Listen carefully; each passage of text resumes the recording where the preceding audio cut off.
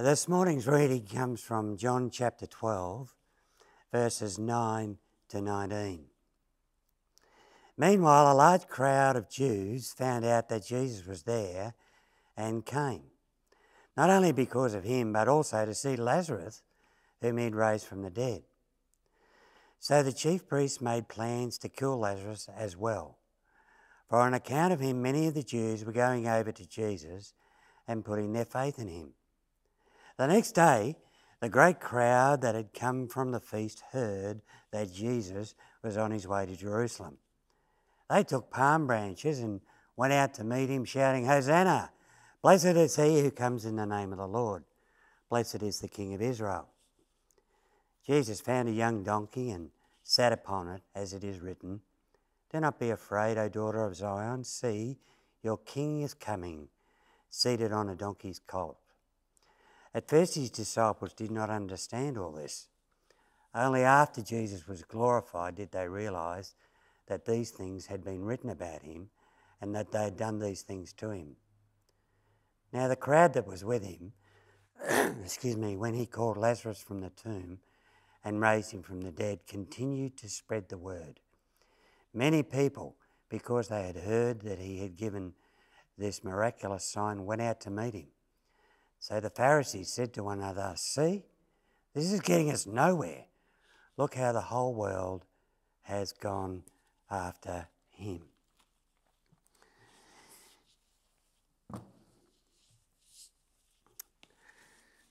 You like butter?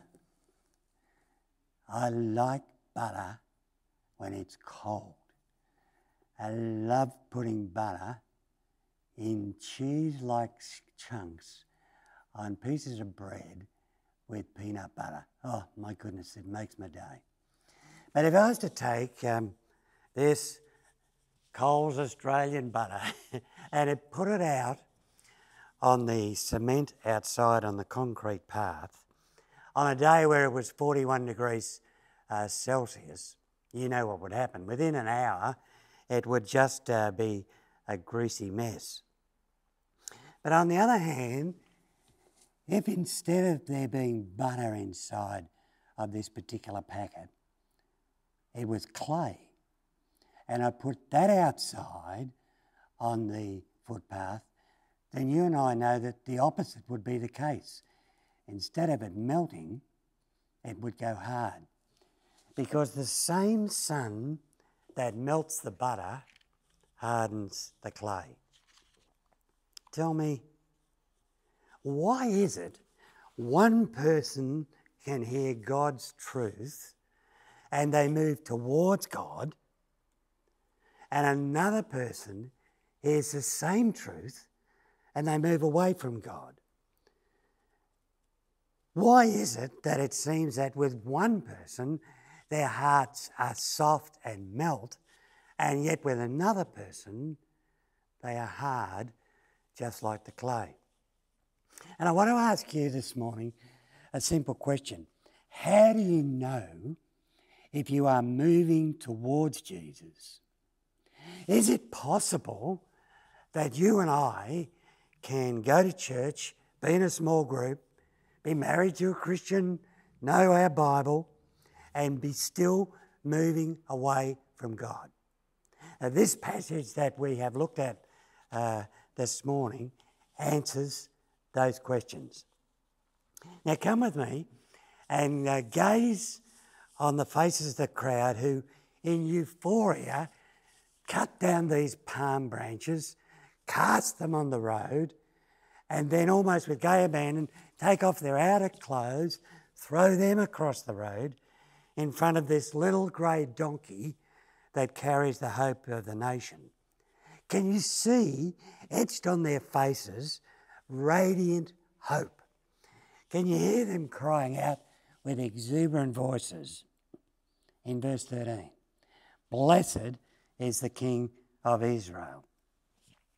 Now, this group of enthusiastic Jews reflected in like a small microcosm the desperate hope that they had to want to be liberated from Roman rule.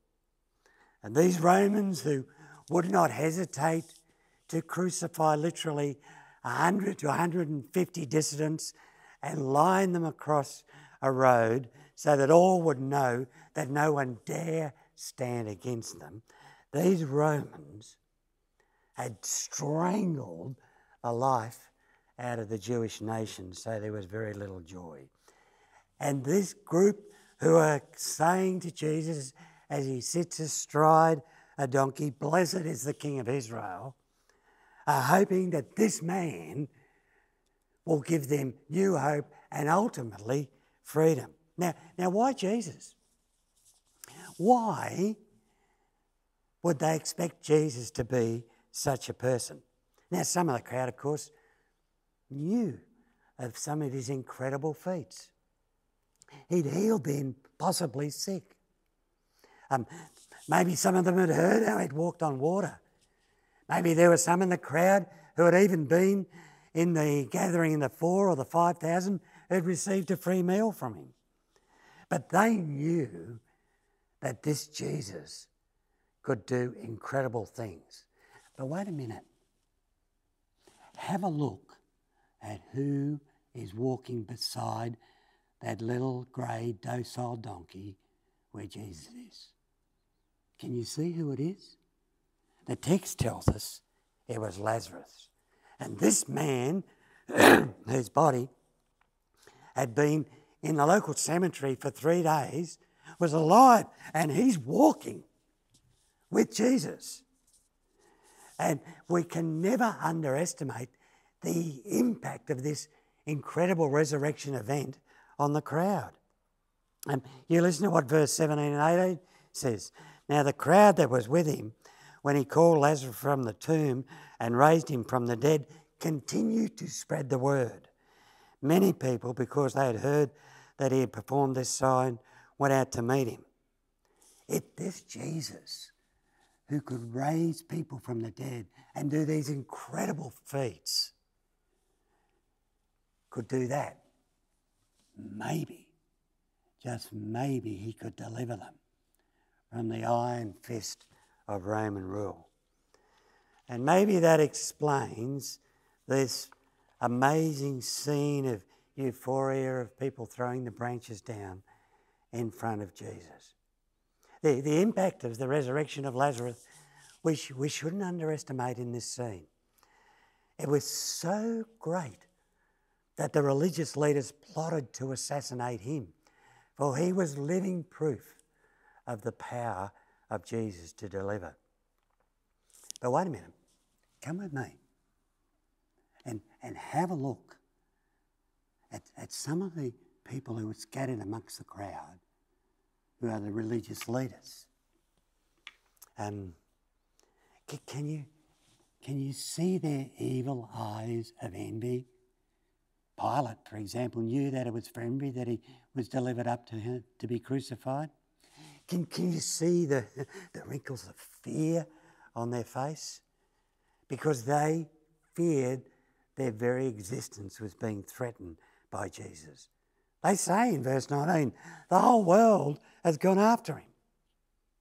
And so, what they wanted more than anything else was that they wanted Lazarus dead and they wanted Jesus dead. Listen to John 9:10. So the chief priests made plans to kill Lazarus as well. As well as who? As well as Jesus. For an account of him, many of the Jews were going over to Jesus and believing in him.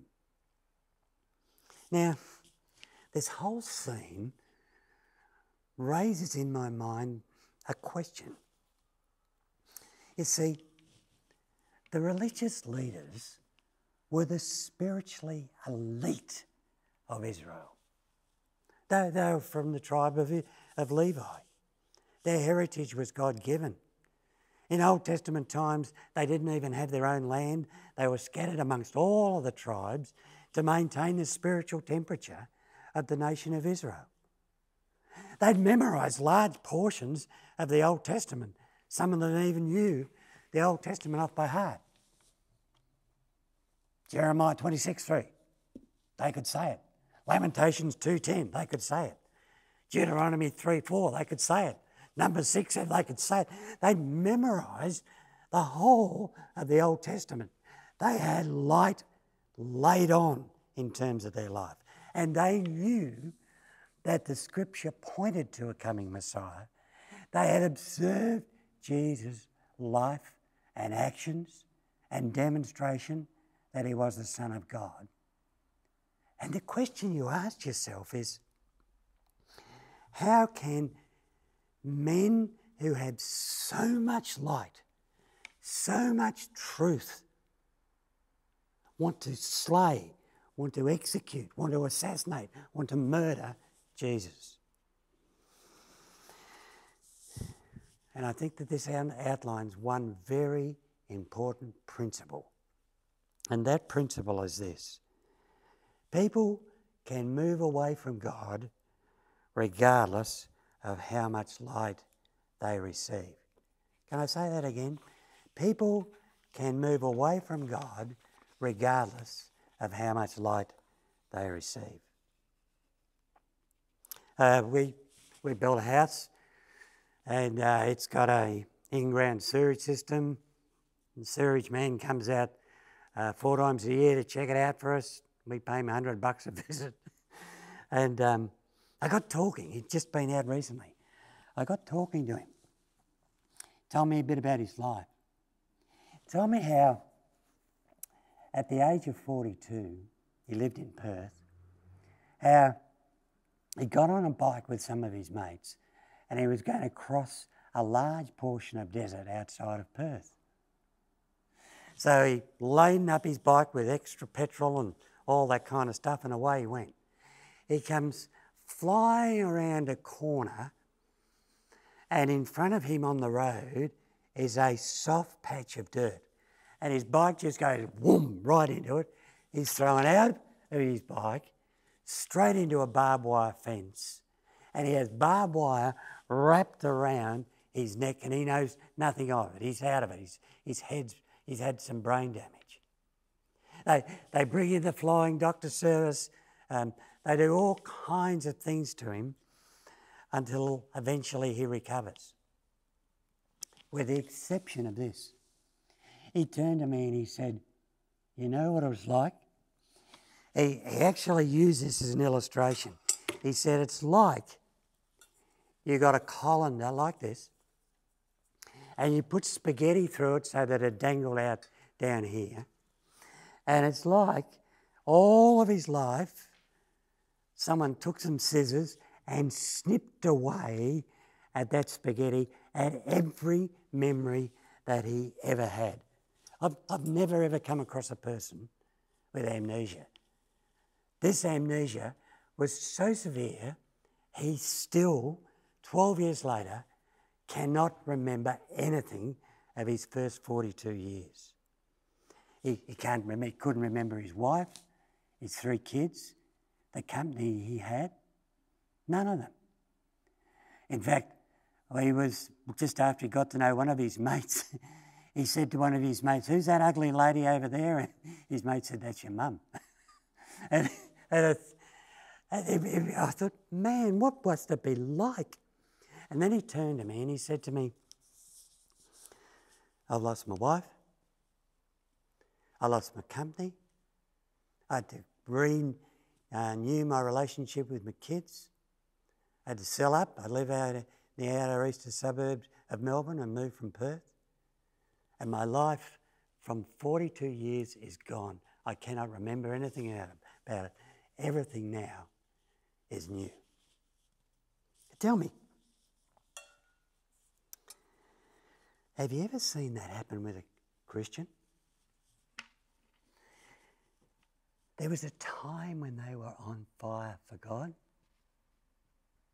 but something has happened, and it's like their whole life has changed, and they're unrecognizable from what they used to be. Um, you, you, you know people, maybe a brother or a sister, a friend, maybe even a former pastor or an ex youth group buddy, and They've heard truckloads of Christian, Christian truth. And they maybe even taught it. But now they are barely recognisable as a person who knows Jesus or who knew Jesus. They're just as there on the horizon, they're so far away from God's light. And I ask this question. Maybe you've asked the same question when you've bumped into such people. How come? How, can this happen? I don't know, but I, I know how it started.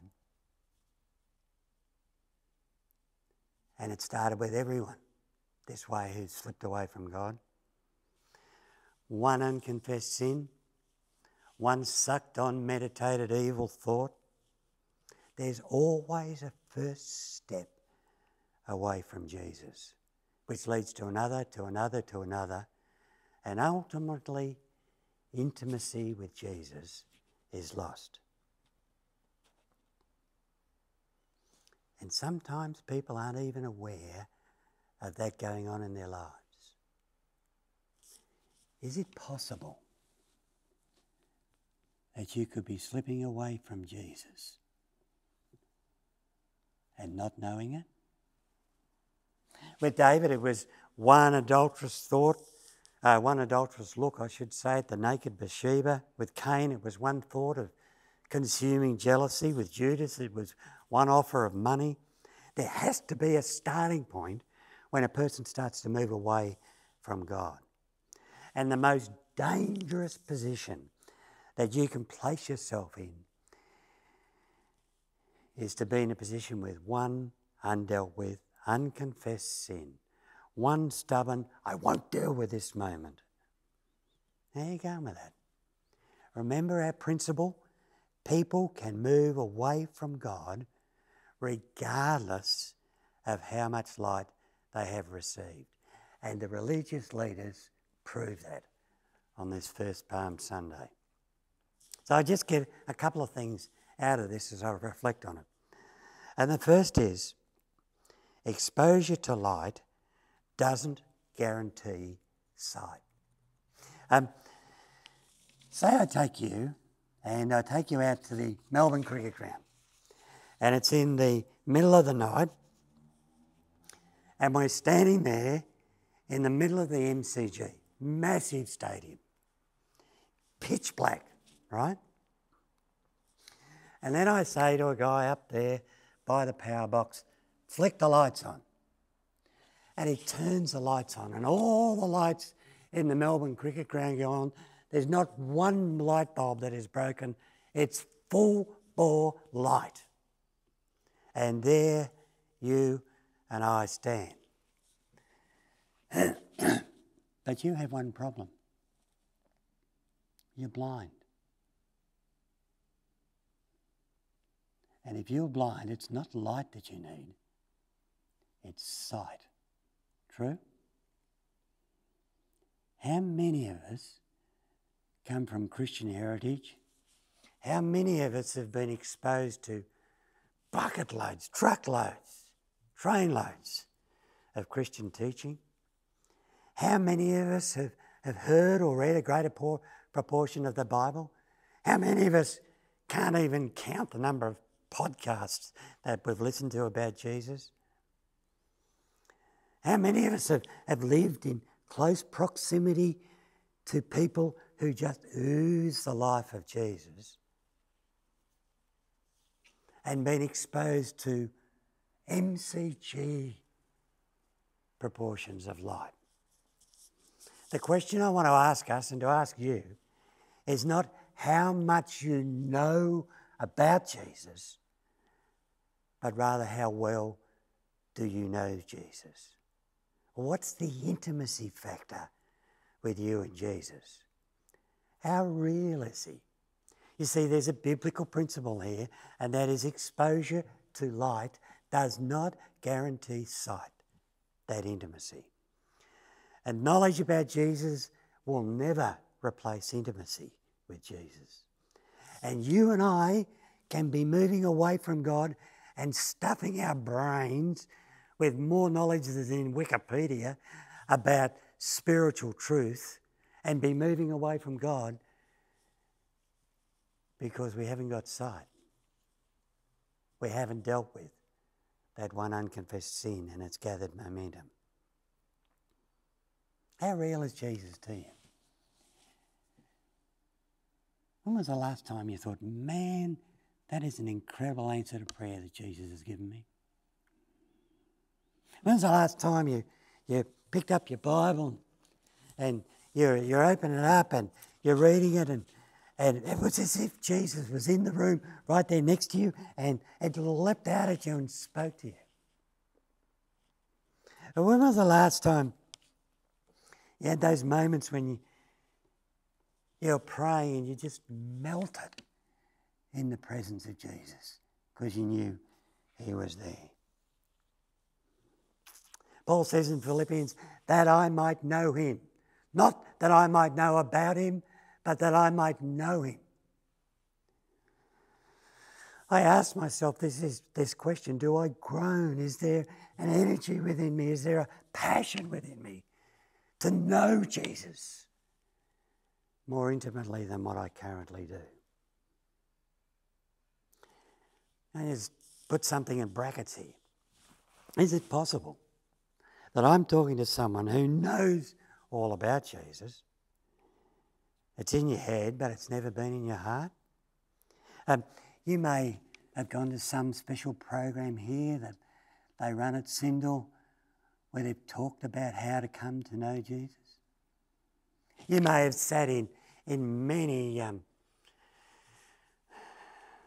and heard many sermons in an audience like this and heard all about coming to know Jesus. Or you've looked at a person who knows Jesus and and out of those kinds of events, you've had an aha moment. Ah, that's what it's about. That's how you come to know Jesus. And you have got the light. But have you got sight? Has there been a time when you have set aside in your heart where you've said to Jesus, Oh, Jesus, I've left you out of my life. Thank you for dying on the cross for me. Oh, will I surrender my life to you? Will you take me as I am?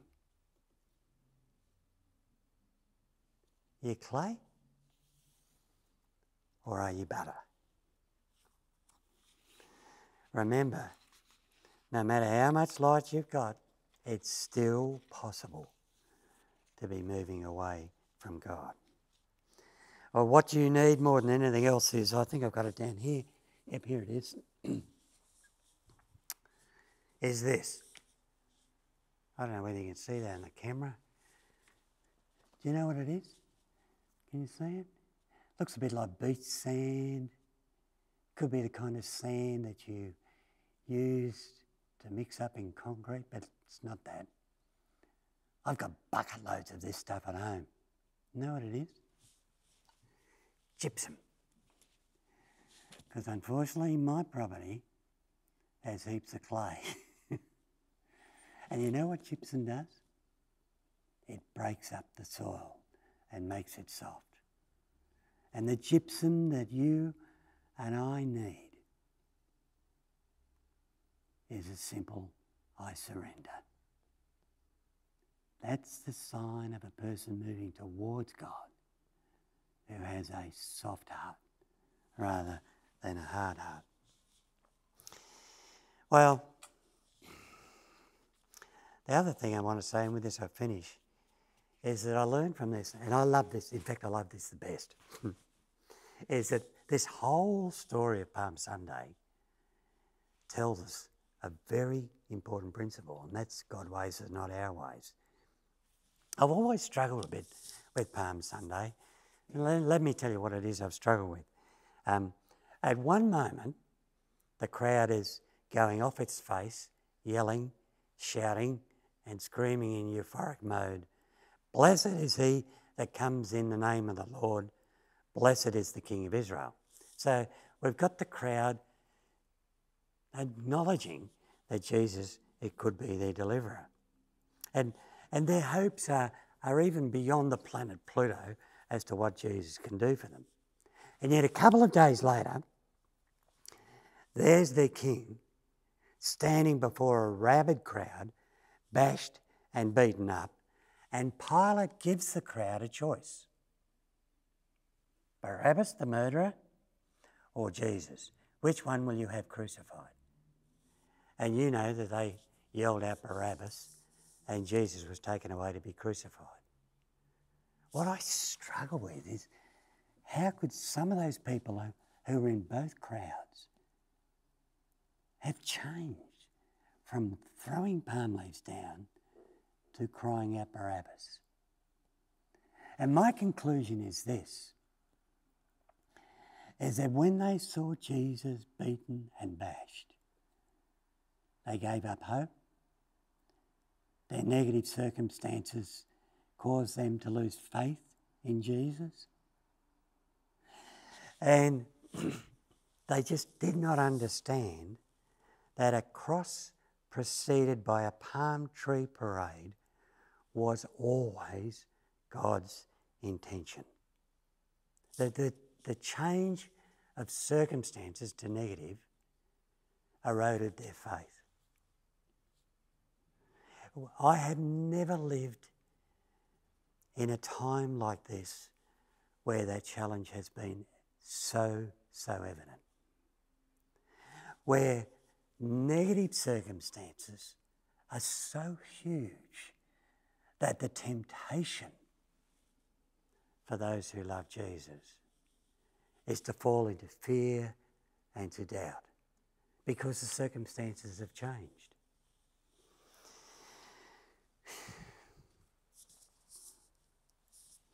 I don't know whether you, you won't be able to see this, but it's about that big. it's a piece of a jigsaw. It's plain purple. Um, and if I said to you, What's the picture? you would have no idea, would you? Um, but if I go over here and hold this up, there is the picture. And so, what does that teach us? This is us. We do not know the big picture in the face of the circumstances that we're in now. This is God. He has got the big picture. Do you believe that? Do you believe that Jesus, who rode into Jerusalem on the back of a donkey and was crucified so that people lost their faith, but eventually rose from the dead and ascended into heaven. Do you believe that He has your big picture in the negative circumstance that you face? Be it the coronavirus, be it a busted marriage, be it bad results from tests, whatever it might be, do you still believe that Jesus has the big picture? I, I, can I finish with this? I love this. I love it. I love it. I love it. Let me take you to another scene. And it's in the book of Revelation. And, and the heavens burst open, okay?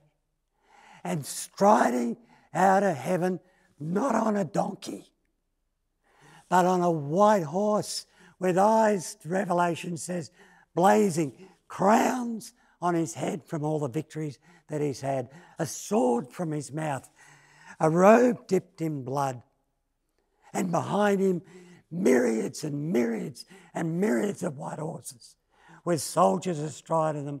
And there on the side, on the thigh of Jesus, is King of Kings the same Jesus that rode a meek and mild donkey into Jerusalem on our first Palm Sunday will return again.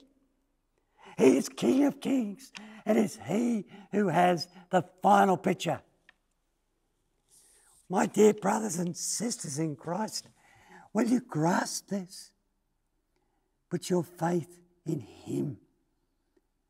He's got your big picture as well as his church's big picture. Trust him. Don't doubt him. Our Father, we pray uh, that you would take our hearts and lift them towards you again. And we acknowledge again on this Palm Sunday that there will come a day when you will ride through the clouds and return for us as King of Kings. Enable us to uphold our faith, we pray in Jesus' name. Amen.